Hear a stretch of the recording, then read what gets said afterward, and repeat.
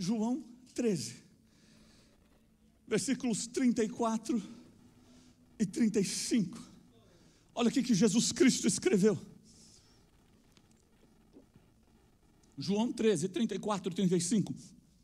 Um novo mandamento vos dou, que vos ameis uns aos outros, como eu vos amei a vós, que também vos, que também vos, uns aos outros vos ameis. Nisto todos conhecerão que sois meus discípulos, se vos amardes uns aos outros. E o amor que Cristo está falando aqui não é um amor de palavra, não é um amor de text message, não é um amor de símbolozinho, é um amor com atitude, é um amor que serve, é um amor que sacrifica, é um amor que vai até o fundo do poço resgatar uma alma. Jesus Cristo, aqui em outras palavras, está falando assim: ó, eu te amei te servindo eu deixei o meu lugar de Deus, vim aqui para esta terra em forma de servo, em forma de homem, fui, me humilhei, eu, eu, eu renunciei à minha posição lá em cima, eu, eu morri em uma cruz, eu te amei, te servindo, assim é que vocês me conhecem. Agora presta atenção: quem é você nesta terra? É assim que o meu espírito te conhece? Se você agir igual eu, todo mundo vai saber que você é um dos meus. A árvore se conhece pelo fruto. Você sabe por quê? Porque a árvore não tem boca. Árvore não fala. A única coisa que a árvore faz é produzir folha e fruto. Mais nada. Por isso que a árvore você só conhece pelo fruto.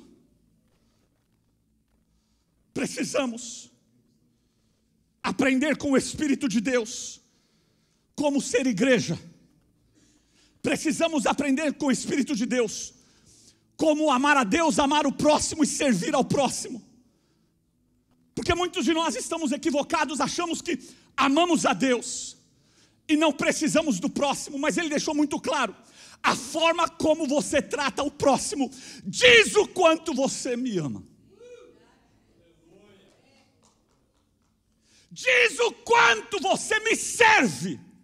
Diz o quanto eu sou senhor da tua vida. E a partir do momento que você para de servir e ser servo, você começa a inventar moda. Por isso que igreja hoje está de mão dada com o um mundo cheio de modinha. Por quê? Porque o Espírito que tem que ensinar a igreja já vazou de muitos lugares e aí estão inventando moda para atrair o povo e para o povo ficar. Agora eu, no meu espírito, estou batalhando para que esta igreja seja fiel a esta palavra.